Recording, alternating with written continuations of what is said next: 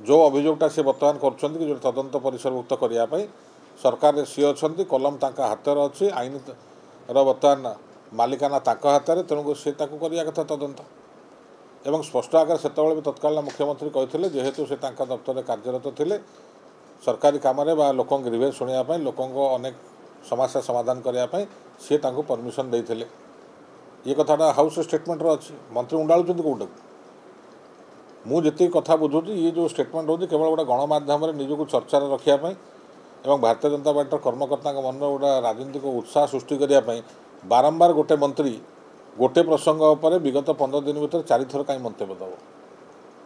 ତ ୟା ଦେହରୁ ସନ୍ଦେହ ସୃଷ୍ଟି ହେଉଛି ପ୍ରକୃତରେ ମନ୍ତ୍ରୀ ଯେଉଁ ଉକ୍ତି ରଖୁଛନ୍ତି ସେ ଭିତରକୁ ପଶିଛନ୍ତି ନା ପଶିନାହାନ୍ତି?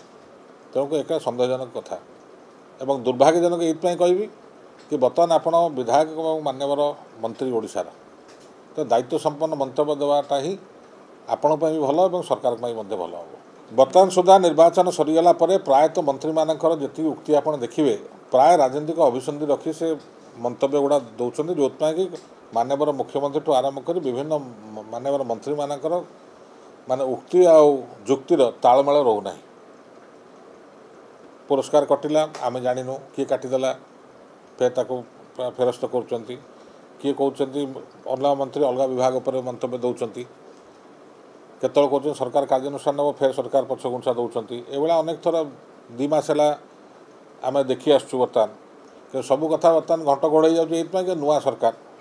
ଆଇନ ମନ୍ତ୍ରୀଙ୍କ ଭାଷାରେ ମାନେ ଅଢ଼େଇ ମାସର ଶିଶୁ। ତେଣୁ ଗଣମାଧ୍ୟମ ମଧ୍ୟ ଆପଣ ଧରୁନାହାନ୍ତି କି ଆମେ ମଧ୍ୟ ଅପେକ୍ଷା କରୁଛୁ ଶହେ ଦିନ କଥା କହିଛନ୍ତି ଶହେ ଦିନ ପୁରିଲା ପରେ କଥାବାର୍ତ୍ତା। ଶହେ ଦିନର କ'ଣ ଖସଡ଼ା ପ୍ରସ୍ତୁତ କଲେଣି ବିଭିନ୍ନ ବିଭାଗ। ମନ୍ତ୍ରୀମାନେ ତା ଉପରେ ଗୁରୁତ୍ୱ ନ ଦେଇ ଦୈନନ୍ଦିନ ଗୋଟେ ରାଜନୀତିର ଚର୍ଚ୍ଚାରେ ରହିବା ପାଇଁ ବା ଗଣମାଧ୍ୟମ ଚର୍ଚ୍ଚାରେ ପାଇଁ ଏଭଳିଆ ଶସ୍ତା ମନ୍ତବ୍ୟ ଦେବାଟା ମୋ ମତରେ ସମୁଚୀନ ନୁହେଁ। ଏଇଟା ନିଶ୍ଚିତ ରଣନୀତି ମୁଁ ହଜାର ଥର କହିଛି ଗଣମାଧ୍ୟମରେ ଡିସ୍କସ୍ କରାଯାଏ ନା। ଆପଣ ତ ନିଜେ ଅଛନ୍ତି ଡାଇରେକ୍ଟ ଟେଲିକାଷ୍ଟ ହେଉଛି ସବୁ କଥା ଆପଣ ଜାଣୁଛନ୍ତି। ଆପଣ ଦେଖିବେ ଆମେ ଆରମ୍ଭରୁ କହିଛୁ ଯେଉଁ କଥାଟା ଗଠନମୂଳକ ବିରୋଧୀ ଦଳର ଭୂମିକାରେ ରହିବୁ। ଓଡ଼ିଶା ନିର୍ମାଣ କରିବା ବା ଓଡ଼ିଶା ପ୍ରଗତି ଆମର ବି ଲକ୍ଷ୍ୟ। ଏବଂ ଭାରତୀୟ ଜନତା ପାର୍ଟି ଯିଏ ସରକାର ତାଙ୍କର ମଧ୍ୟ ଲକ୍ଷ୍ୟ ସେଇଆ। ତେଣୁକରି ଯେତେବେଳେ ଚବିଶ ବର୍ଷ ରହିକି ଆମେ ଗୋଟେ ଗୋଟେ ମାର୍ଗରେ ଯାଇଛୁ ଏବଂ ଆମେ ନିଶ୍ଚିତ ଭାବରେ ଦେଖିବୁ କି ସରକାର ଓଡ଼ିଶା ପ୍ରଗତି ପଥରେ କାମ କଲେ ନିଶ୍ଚିତ ଭାବରେ ସ୍ୱାଗତ ଯୋଗ୍ୟ କଥା ହେବ ଆଉ ଯେଉଁଠି ଲକ୍ଷ୍ୟ ବିଚୁକ୍ତି ହେବ ଆମର ଶାଣିତ ଆକ୍ରମଣ ରହିବ ଗୋଟେ ସ୍ପଷ୍ଟ ଆକାରରେ କହିଛୁ। ଆଜ୍ଞା ଯେତେବେଳେ ଆମେ ବିରୋଧୀ ଦଳରେ ବସିବା ପାଇଁ ଓଡ଼ିଶାର ଜନସାଧାରଣ ମତ ଦେଇଛନ୍ତି ତ ଆମେ ଆମ ଦଳର କାର୍ଯ୍ୟକ୍ରମ କରିବୁ।